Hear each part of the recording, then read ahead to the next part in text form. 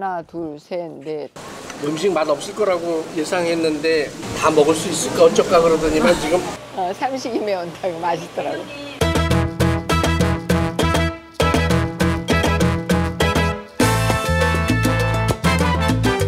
자, 오늘은 여기는 어디입니까요? 오늘은 가해리에 왔습니다. 오늘은 가해리는 어. 사실 김포분들은 되게 많이 알고 계시는 곳 중에 하나예요.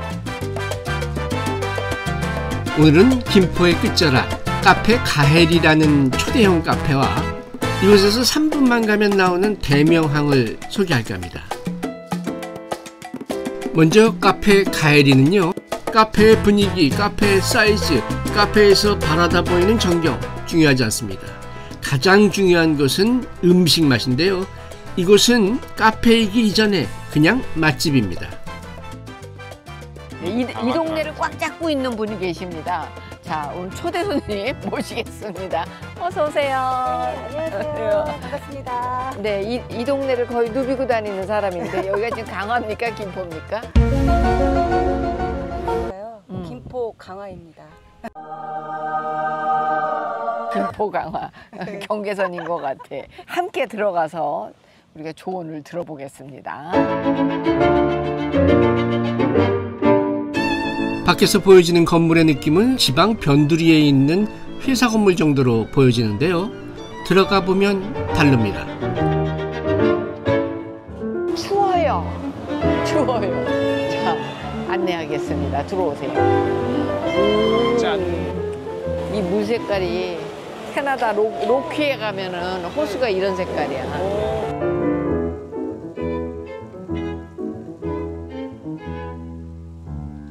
짜자자잔. 짜자자잔.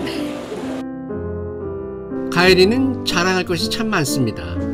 이 건물 뒤쪽에는 이 건물의 10배가 넘는 커다란 야외 정원이 있는데요. 더워서 그런지 테이블은 별로 없었지만 가을이 되면 이곳에서 시간을 보내봐야겠다는 생각이 들었습니다. 우리 집 개놈 새끼를 데리고 와야 할 것 같습니다. 자리는 진짜 기가 막히게 잡았네. 여기 앉아서 이쪽을 보고 있으면 되게 좋을 것 같아. 그치? 여기 와서 고기 구워 먹는 건데 아니야? 사람들? 빵, 빵, 빵? 빵. 상시 무료야? 어, 저녁에 장작 장작은 개인 화롯대 사용 시 5,000원. 불멍 간식 세트네 그거는.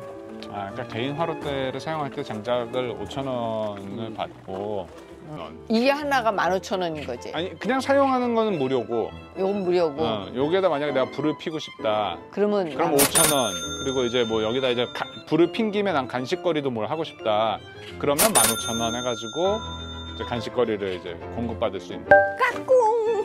먹고 항구를 가야 어. 충동 구매를 안 해요 광고 엄청 해줄 거예요. 막 회가 트러플 버섯 어? 피자 맛있을 것 같고 고사리 들어간 매콤 오일 파스타 뭐 이런 것도 있어요 여러분들은 이 두 가지는 무조건 드셔보셔야 합니다. 정말 제가 먹어본 먹물 리조또 중에 최고였고요. 고사리 파스타, 이건 다 먹는 거 아니지? 이효리 씨가 유행시킨 파스타죠. 이거 정말 저도 한번 먹어보고 싶었는데 고사리도 되게 맛있어요. 되게 잘 어울려요 어, 아주 매콤해.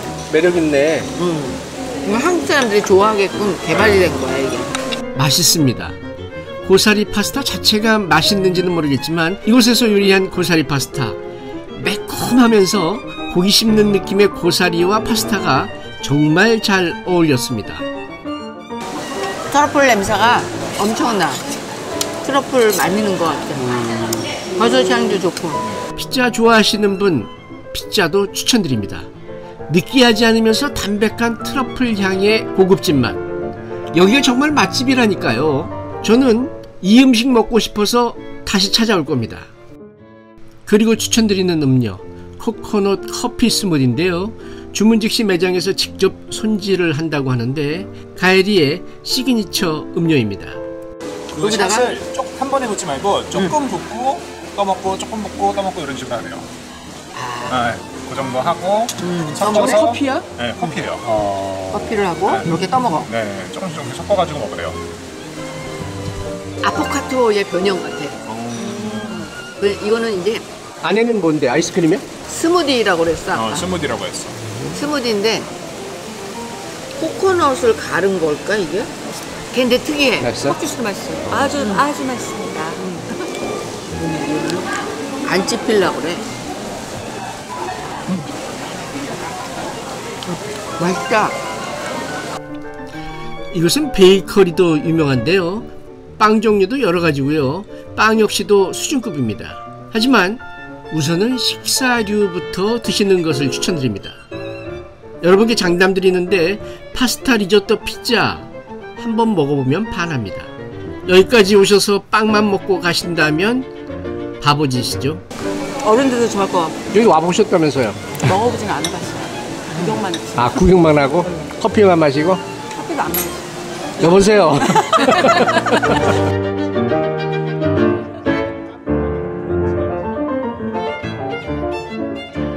야매주부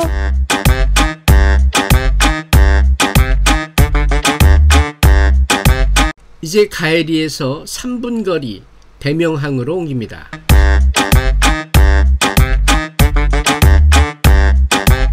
대명항에 오신 걸 환영해요.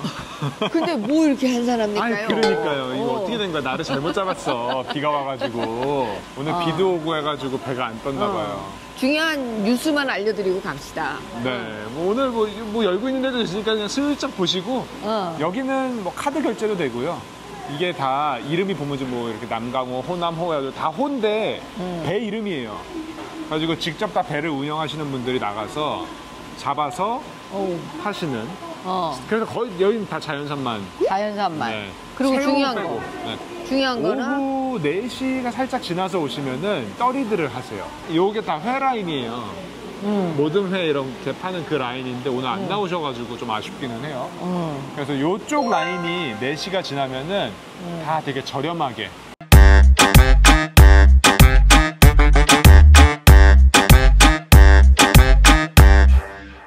신랑이 잡은 자연산이래. 여러분들 가족 나들이에 도움이 되셨나요? 날씨가 오락가락해서 또 너무 무더워서 휴가인데도 집에만 계셨다면 이곳을 한번 방문해 보시는 건 어떨까요? 저희 야매주부가 추천드리는 장소는 광고 방송이 아니고요. 저희가 직접 가보고 혹은 지인으로부터 추천을 받는 장소만 저희가 소개해 드리고 있습니다. 도움이 되셨다면 구독을 누르고 싶으실까요? 좋아요를 누르고 싶으실까요?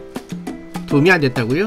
그럼 마지막으로 진짜 도움이 될 만한 정보 하나 드리고 마치겠습니다.